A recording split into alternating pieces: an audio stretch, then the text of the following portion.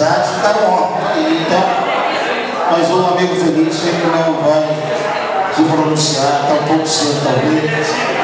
É, o William está falando pacientinho, não é nada disso, né, Daqui realmente não é hora, vou falar.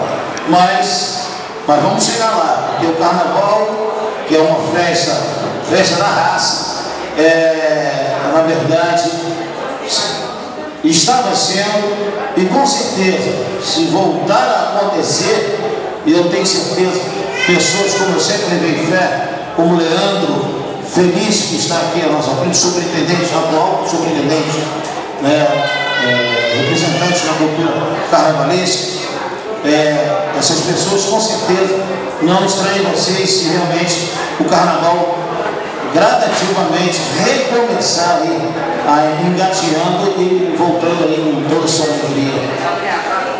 E eu desejo ao feliz toda a sorte do mundo. A gente sabe que é pedreira, as dificuldades não são todas, mas eu desejo a você feliz. É, tudo de bom. Tá? Alô, aí. Eu peço uma salva de palmas do nosso superintendente. Eu vou pegar. Pessoal, coisa muito